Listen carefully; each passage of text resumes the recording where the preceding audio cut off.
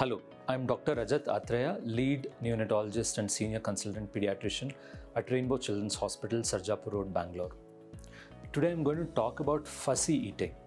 Of all the things that I get asked in my day to day work, my child does not eat tops the list.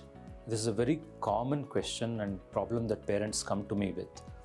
So rather than your child is not eating well, probably she's not eating what you want her to eat, uh, the way you want her to eat, in the frequency and the quantity that you want uh, her to eat. I also get asked, are there medicines to stimulate her appetite? Uh, I have to tell you that there is no safe medic- medicine that can be prescribed which will increase the appetite of the child.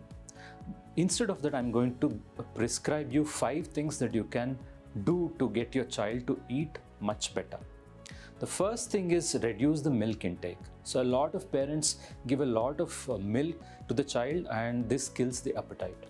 The second thing on my prescription is that restrict the meal time or the efforts to feed the child to about 20 to 30 minutes at a time. If you drag this on for a long time, it becomes a battle and it is always a losing battle for the parent.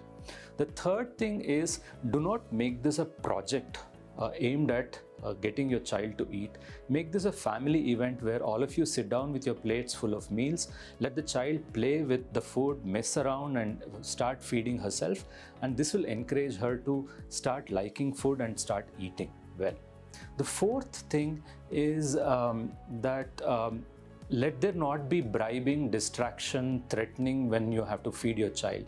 So let uh, talk about the food, talk about where you got the food from, how you made it, how it looks. Um, it's a nice color, it tastes well, and those kind of things. And talk about the food when you're feeding the child, rather than uh, keeping a mobile phone in front of her or threatening her if she doesn't eat, something is going to happen to her, or if she eats, she's going to get an ice cream. So do not do that. Let meal times be about just the meals themselves. And the last thing is very, very important and the most important point in my prescription for better eating that is, if you want your child to feel hungry, you need to allow her to stay hungry. So, if she doesn't take breakfast or lunch properly, do not give her an alternative snack like biscuits or milk or anything like that till the next four to five hours let her stay hungry. So this requires a lot of discipline on part of parents and grandparents and they often don't feel uh, like letting the child just be without eating.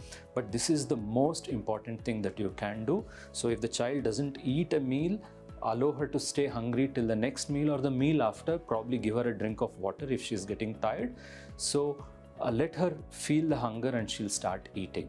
Happy parenting